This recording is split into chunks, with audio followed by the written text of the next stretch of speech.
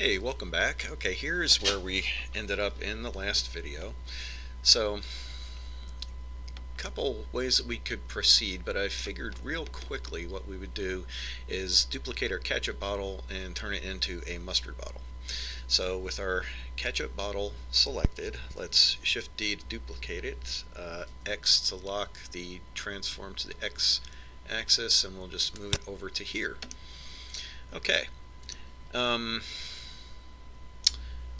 here, let, us modify this object a little bit so it doesn't look like it's so much of a mirror image of the other one.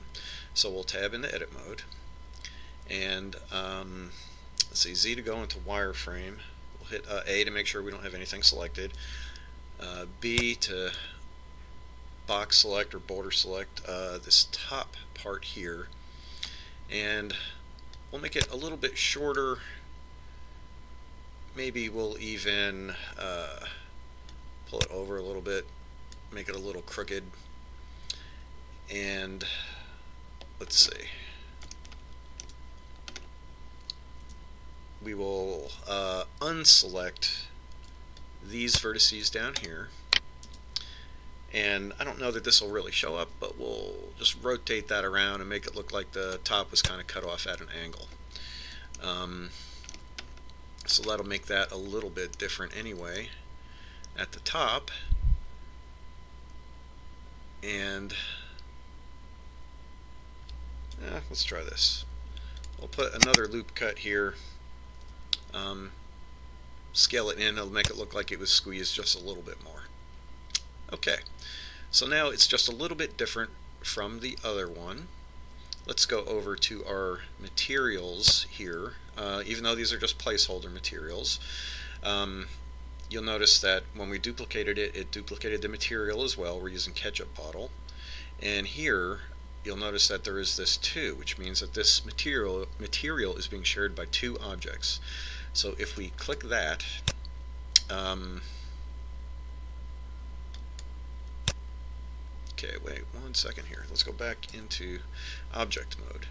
If we click that 2, that will make this a separate copy. So let's just go ahead and we'll just change the color. We'll grab it here from from our uh, inspiration picture. Looks like it's a little greenish type of yellow. And um, we'll just rename it mustard bottle. Okay, easy enough. Um, let's rename this object too. Mustard bottle. Okay, so now on our table we have ketchup and mustard. Uh, they still look a little big to me, but we can we can scale those down um, a little bit later on. I just want to kind of block things in.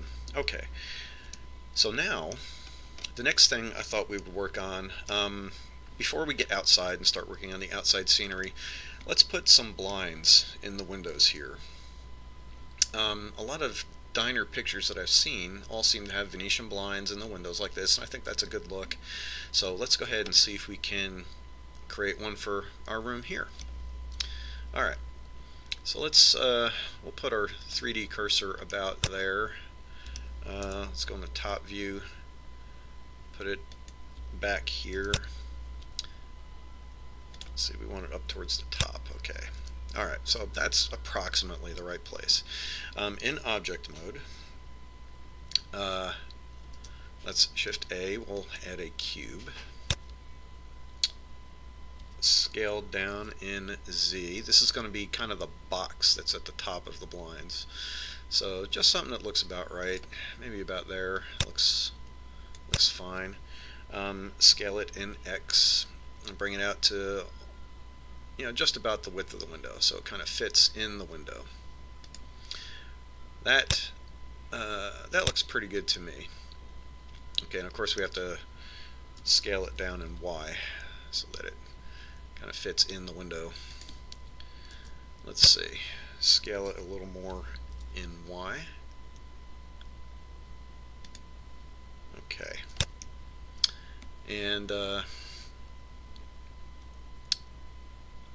Still looks a little thick to me in the Y direction, so scale down a little more. Uh, something like that, and maybe a little more in Z. Just trying to get it so that it looks just about right. I think that's that's pretty close. All right. Uh, once again, I have forgotten to turn on screencast keys. I'm not even really sure how helpful that is, but just in case, um, I'm going to go ahead and turn those on now. So hold on for just one second.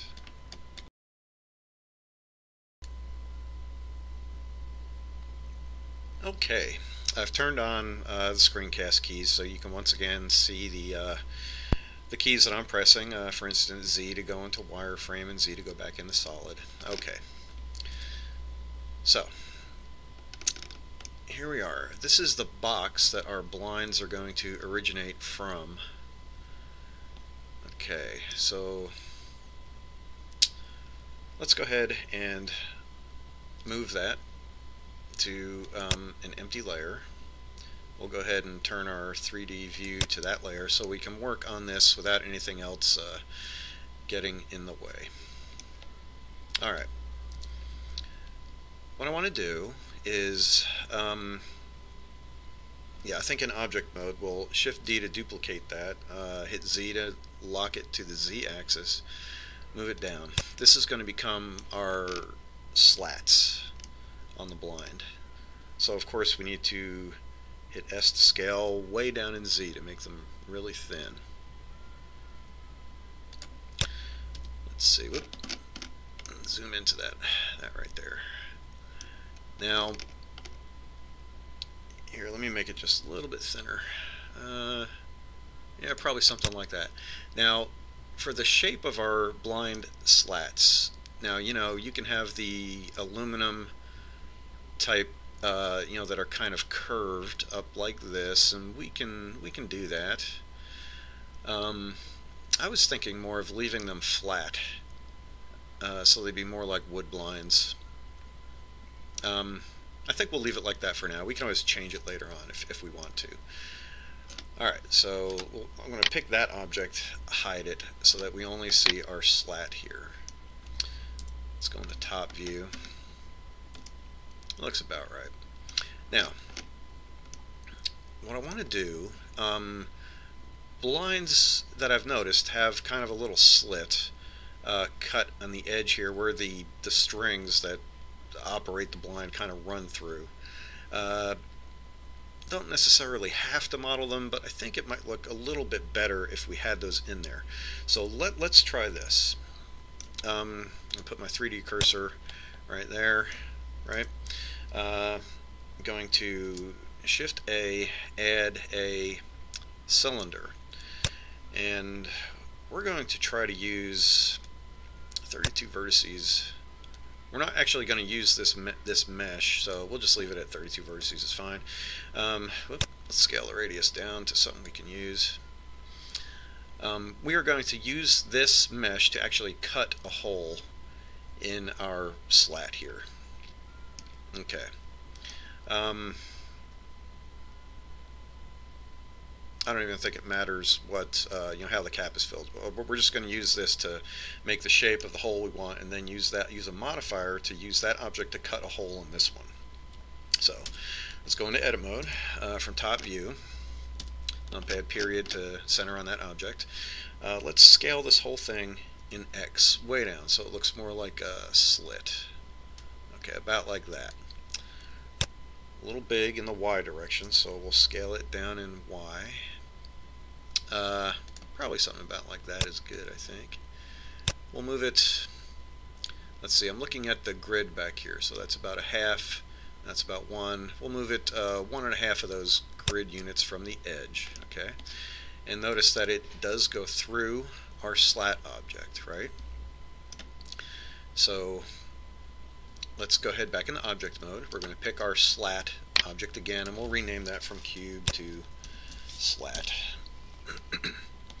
Alright, and on this object we're going to add a, a boolean modifier. Alright.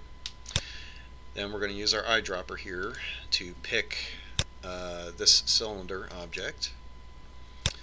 and we're going to change the operation from intersect, uh, I think to difference. I think that's it, right? I'm saying right a lot, sorry. um, anyway, hit apply.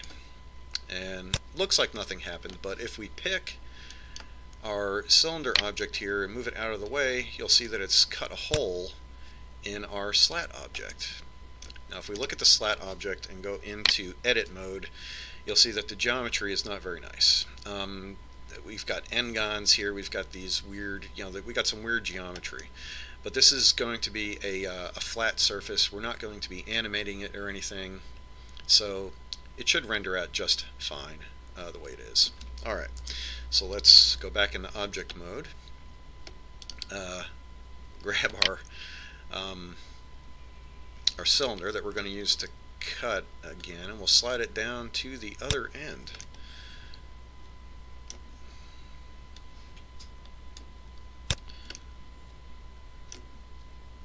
Okay, we're going to slide it all the way down here, numpad period to center on it, and we're going to go, let's see, that's about a half, well, let's see, this is one, and then about a half. We're just about in the right place.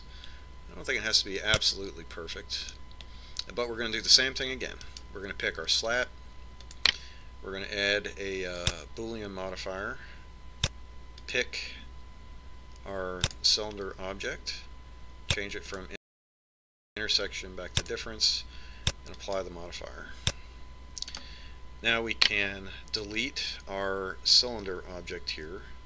So I'll pick that, hit X to delete. Now we have a slat that has these slits uh, cut in the ends of it. Not sure how much that's going to matter in the final render, but it might. We might have some light shining through there that might look kind of cool. Okay. Let's go into front view here. Now we have one slat.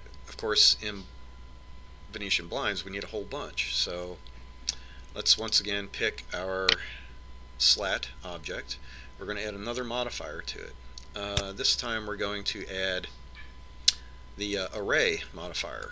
And you'll see it looks like you know it shot off the edge there. Well, what the array modifier does is it makes duplicates of your object and um, arranges them in the x, y, or z axis, um, you know, uh, based on the position of where your original object is. In the modifier here, uh, you'll notice it's not labeled x, y, or z um, over here at any rate, but this top line is for the x direction. Now we don't want it to go in the x direction, so we'll put that back to zero. We don't want it to go in Y, we want it to go in Z. But if you'll look at our, our manipulator here, the positive Z direction is up. We want it to go negative Z, heading down. So we'll grab our Z direction here, and I'm just going to use my mouse to scroll it down until I think it gets in about the right position. That looks about right, I think. Uh, yeah, I think that looks about right. Okay. Now, we can use the count field here to add as many more as we want. Um, I don't want to cover that whole window. So let's, uh, while we're in object mode here, let's Alt-H to bring back our other object. To hit uh, A to make sure we have everything selected. M, let's move it back to the first layer here. Okay, and then we'll go back to the first layer. Here it is in the window. Let's bring back our table, which is on this layer, and our mustard and ketchup bottle. Okay. Go back into perspective view. So, I think in this window, um, I don't want it to go any lower than that. I think that's I think that's pretty good because we want to be able to see. Uh, we might even take some of those off the bottom later, but we want to be able to see what's going on out there. Now, depending on what angle we want our final render to be in, and we'll talk a little bit more about composition when we get to that point, because the good thing about a 3D scene is, you know, we can render a shot from here, we can render it from here, we can zoom way in, and we can do one maybe, you know, across the table, over the shoulder, you know, there's all kinds of things we can do. So depending on what angle we're at, we may want to turn these blinds so we can see through them, kind of like we have in our our uh, picture over here. Now, the way you can do that, um, when the when the uh, array modifier is applied, I mean, is uh, still on this object here. Uh, once we hit apply in object mode, this becomes this all becomes one mesh. But while the modifier is still over here in the modifier stack, we can go into edit mode. And you'll notice that if we hit A, it only selects our original mesh. All this down here is the result of what the modifier is giving us, right? So if we take our original mesh in edit mode and we hit rotate along the x-axis, um, okay, something's not working here. Hold on.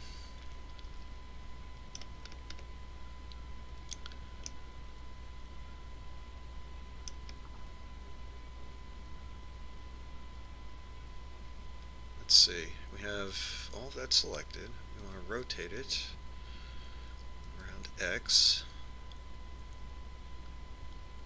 Okay, this is uh, this is messing with our. Uh,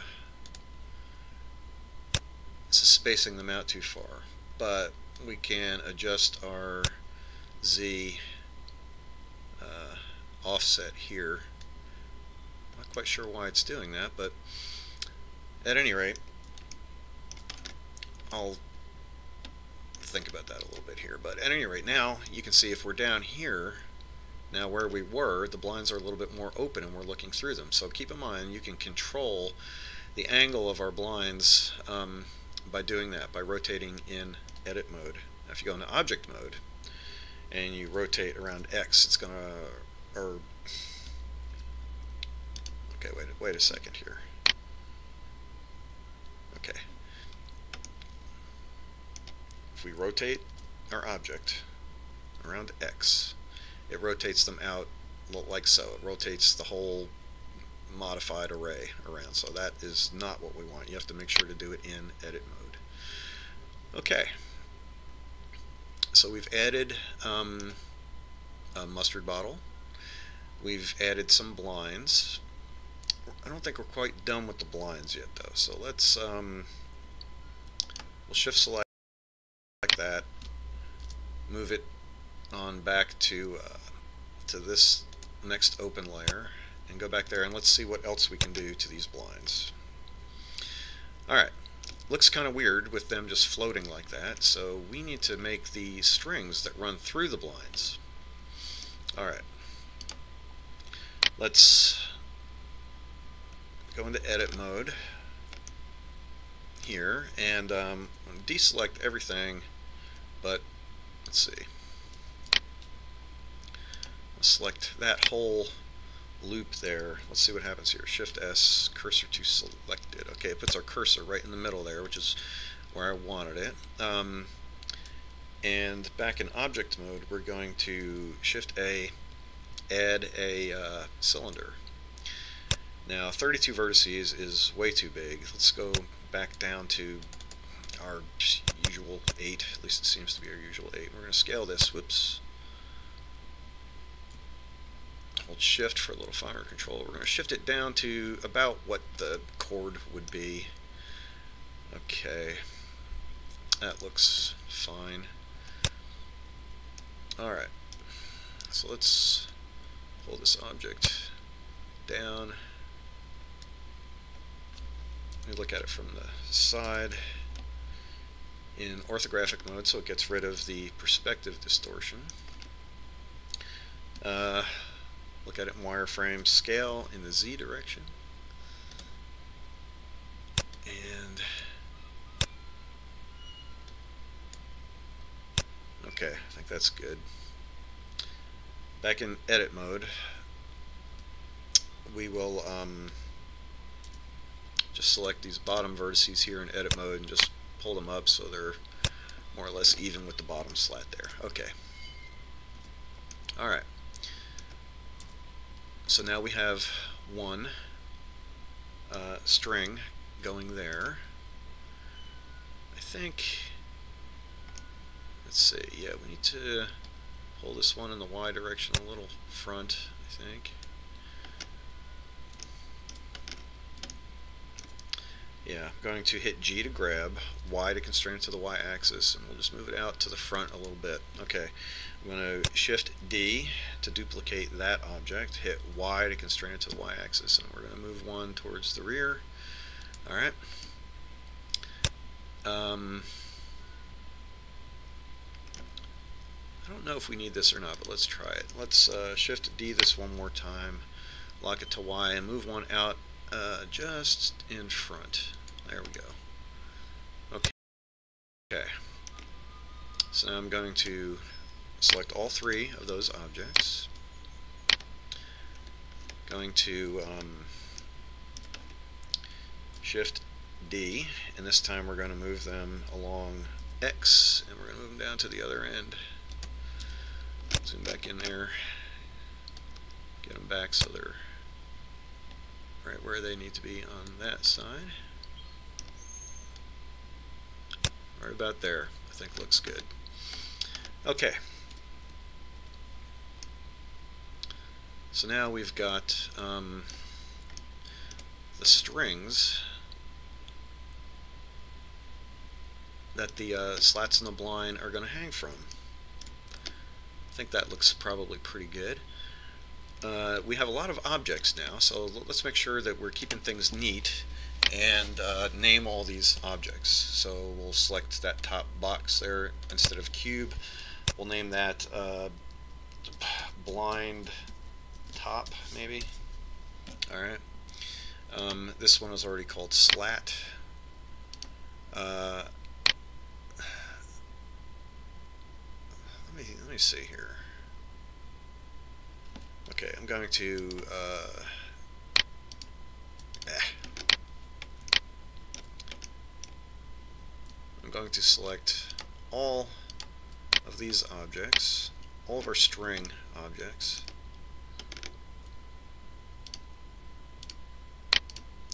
I'm going to hit uh, Control J. That makes them all one object. And I'm going to name that uh, blind string. Okay. So far so good.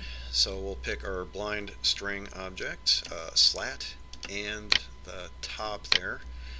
M, we'll move it back to the working layer there. And let's see what we got.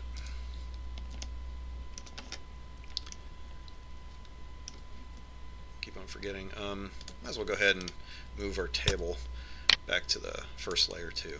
Alright, let's look at the first layer again. Go back into per, whoop, go back into perspective mode.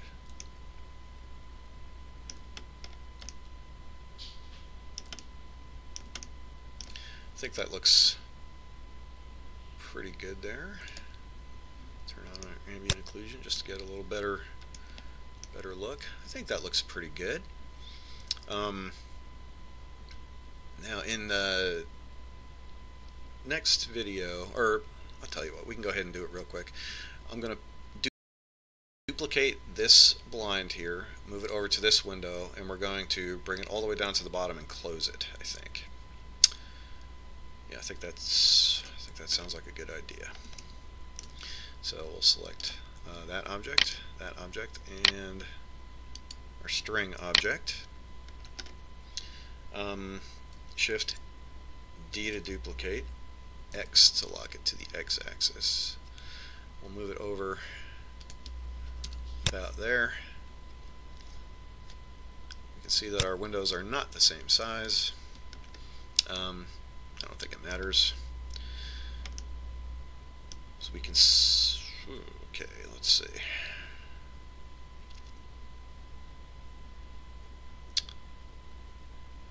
So I think if we scale in X, yeah, it's not going to move our, it's going to have issues moving our uh, strings.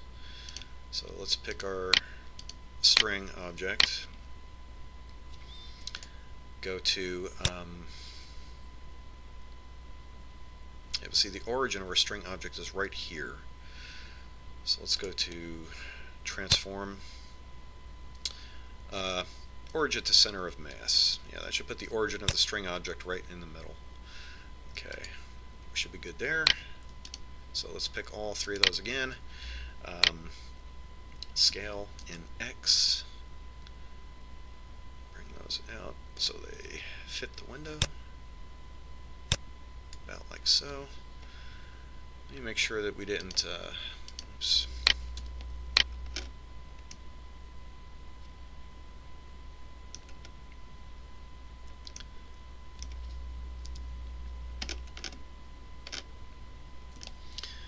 make sure that we didn't uh, make our whoops make our string objects extra.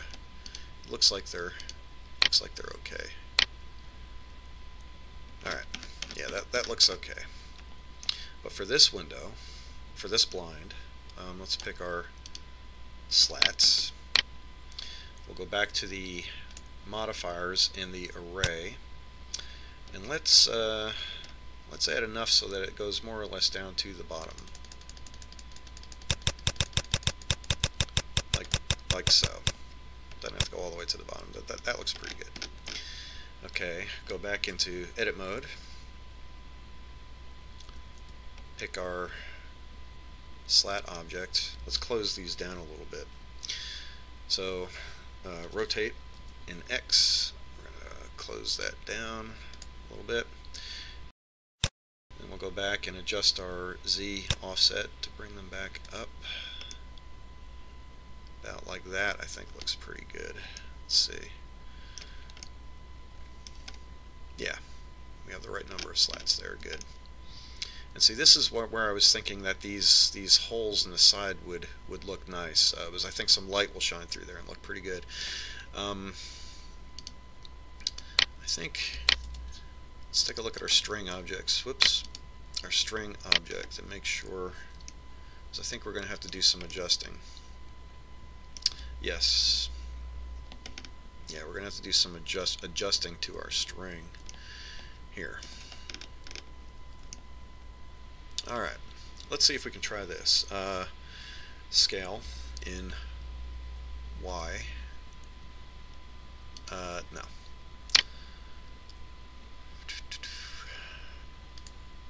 Oops. Uh,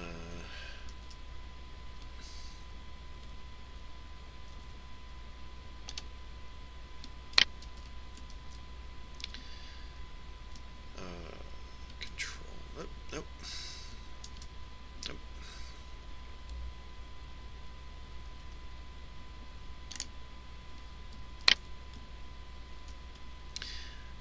Nope. Okay, hold on a second. Um,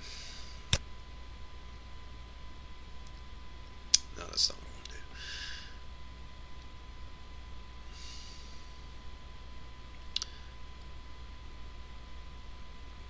do. Okay, let's see. Let's go back into edit mode. I guess we're going to have to do it uh, this way. There's probably a, a different way, but um, just can't think of it right now. Alright, so I'm going to hover my mouse over this one, hit L to select, everything that is linked to that. And we're just going to grab it in Y and pull it up so it's there. Uh, deselect everything, Z, then we need to move this one.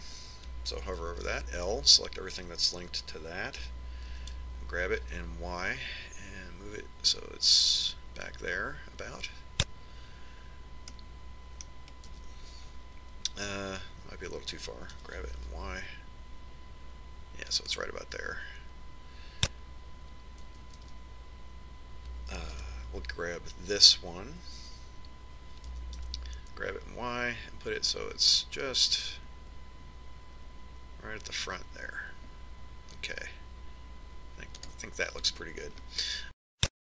Um, I will go ahead and do the same thing to the other side. Um, it'd be a little tedious, I think, to, to watch me do that again. Um, but what we can do is uh, select all of these at the bottom and while we're still in edit mode I guess it doesn't matter we can um, grab it in the Z axis and just bring it down to the bottom of where the blinds are now. Okay, so back into perspective.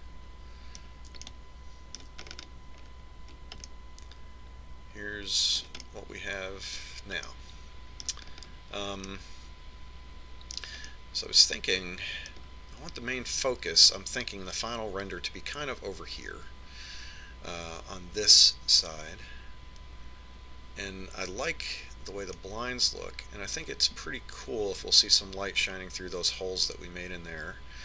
So I think it's starting to come together. We may need to do a little bit of adjustment. These may be a little wide, um, may need to adjust them just a hair. But I think we're doing pretty well so far. In the next video, we are going to model some things outside the scene here, just for a change of pace. So until next time, uh, I hope you have a wonderful day, and I will see you in the next video. Thanks very much for watching.